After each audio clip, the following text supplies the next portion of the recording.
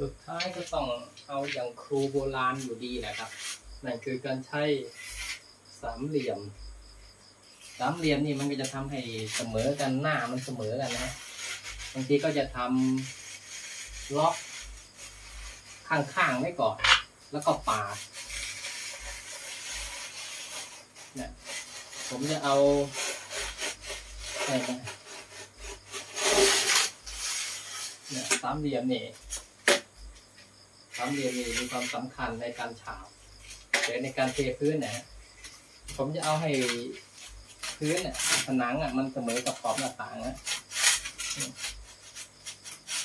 เนี่ยมันจะไถออกเลยนะฮะไอ้ส่วนเกินสำคัญตรงนี้แหละเนี่ยนี่นะฮะนี่ครับ มันก็จะออกอยู่นะฮะ ขออภัยทุลักทุเลส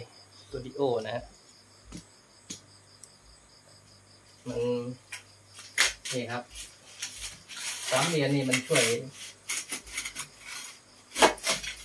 อันนี้ยาวสองเมตรจะเชื่อข้าไปไหน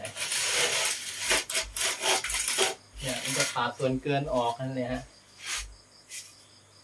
เนี่ย ก็นี่นะครับวิชาครูก็ใช้สามเหลี่ยมในส่วนเครื่องขัดปัจจุบันมันก็เป็นเครื่องช่วยในระดับหนึ่งทุนแรงนะครับ สวัสดีครับ